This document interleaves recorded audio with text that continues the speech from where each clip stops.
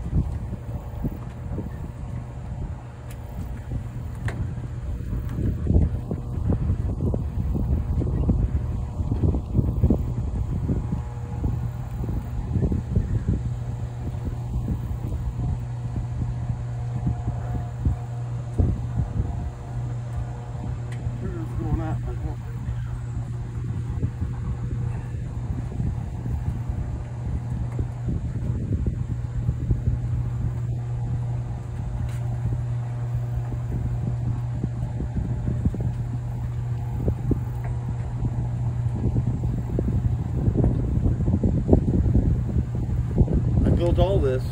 It's beautiful. It's weathering nicely too.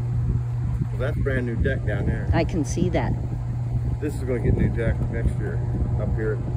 Lower deck's fine.